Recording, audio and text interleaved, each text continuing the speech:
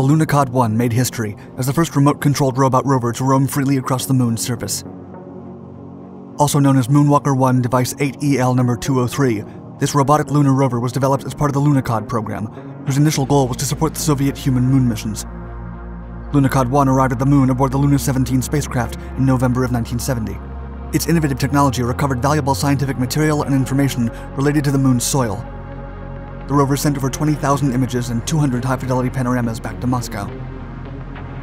Designed originally with a lifespan of three lunar days, the equivalent of 90 days on Earth, it withstood an astonishing career of 11 lunar days, almost an entire Earth year.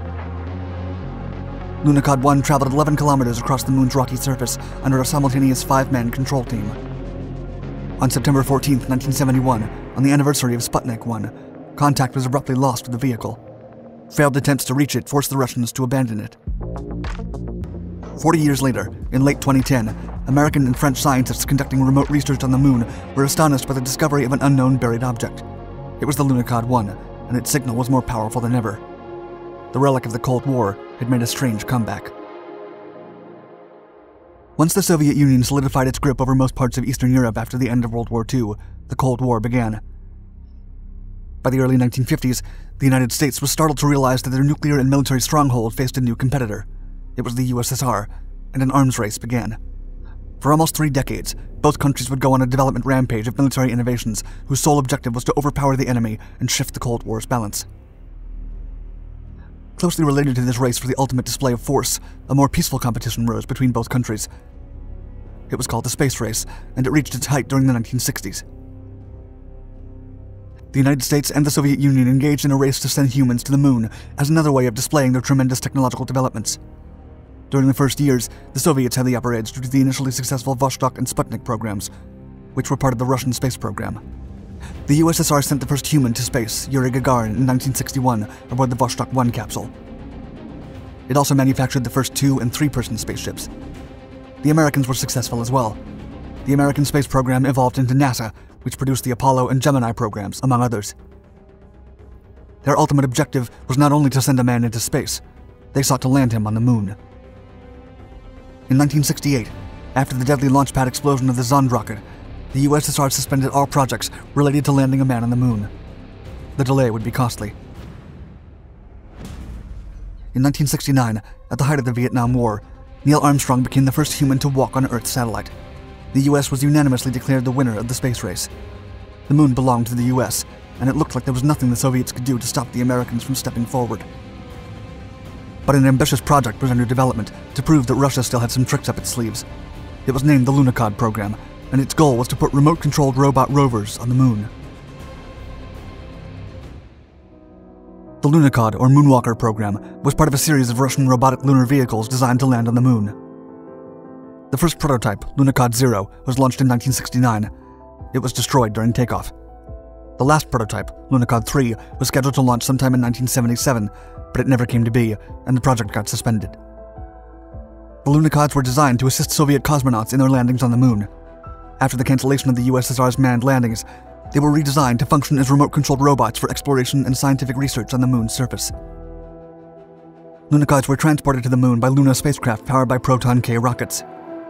The Luna 17 lander carrying Lunokhod 1 was launched successfully from the Baikonur Cosmodrome in Kazakhstan on November 10, 1970. It made it to lunar orbit five days later and soft landed in the flood basalt surface of Mare Imbrium, the Sea of Rains, on November 17th. Time magazine wrote about the robot's historic landing, quote, three hours after reaching the moon, aboard the latest unmanned Russian moon probe, Luna 17. Lunokhod 1 lumbered down one of two ramps extended by the mothership and moved forward, thus taking the first giant step for robot kind on another celestial body. NASA, genuinely intrigued by the curious Soviet vehicle, would also write about it in a summary of the mission, quote, Lunokhod 1 was a lunar vehicle formed of a tub-like compartment with a large convex lid on eight independently powered wheels. Lunokhod was equipped with a cone-shaped antenna a highly directional helical antenna, four television cameras, and special extendable devices to impact the lunar soil for soil density and mechanical property tests. The rover was also equipped with a cosmic ray detector, X ray telescope, X ray spectrometer, and a laser reflector device of French origin to measure the distance between the Earth and the Moon. Its body was hermetically sealed, filled with nitrogen at standard atmospheric pressure. The dome panel on top was hinged at the rear to be used as an insulation layer for the three week lunar nights. To face the moon's extremely cold temperatures, the Lunokhod was kept warm by a radioisotope that generated heat. Multiple cameras on the rover were used by a five man crew that coordinated to steer the vehicle in the desired direction. Driving was no easy task. The crew moved slowly, meticulously studying the terrain to avoid losing communication with Earth or collide with any obstruction.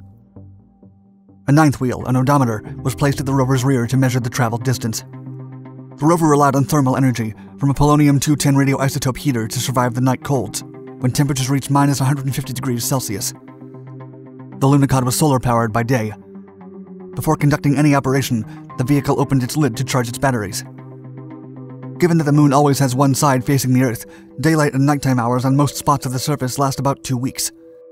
The rover was designed to last three lunar days, the equivalent of 90 Earth days. The Lunokhod exceeded the expectations of the USSR. It went on for 11 lunar days.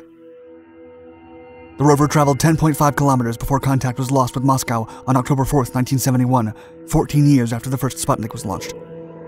The USSR tried to reach it repeatedly, but failed to do so. The Lunokhod 1 was then forgotten in place of other projects. For 322 Earth days, almost a year, it had sent back 20,000 TV pictures, 200 TV panoramas, and information from more than 500 lunar soil tests to Moscow.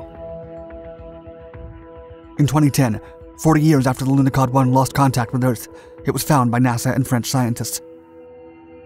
A NASA press statement said, quote, on April 22nd, Murphy and his team sent pulses of laser light from the 3.5 meter telescope at the Apache Point Observatory in New Mexico, zeroing in on the target coordinates provided by Lunar Reconnaissance Orbiter. A laser retroreflector on Lunokhod 1 intercepted the pulses and sent a clear signal back to Earth.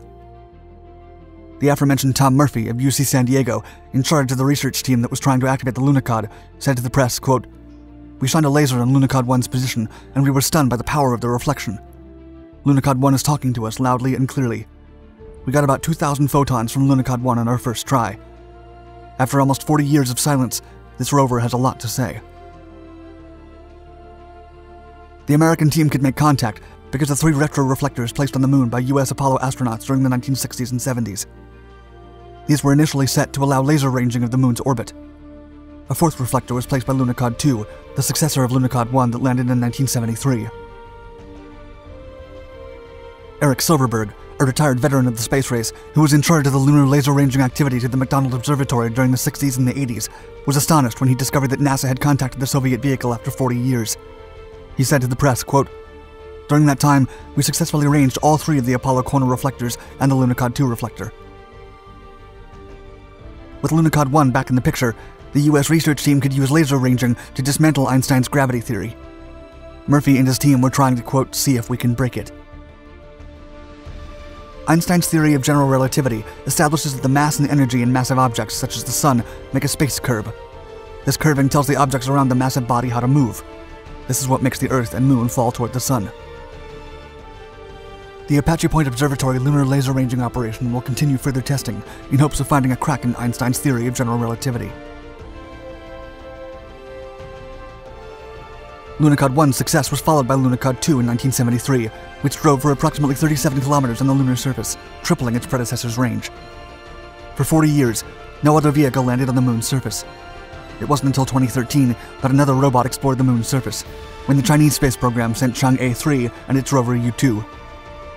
Although the lander Yutu could not move after its second lunar night, it remained operational for 31 months, surpassing the 11-month record previously held by the Soviet Lunokhod 2.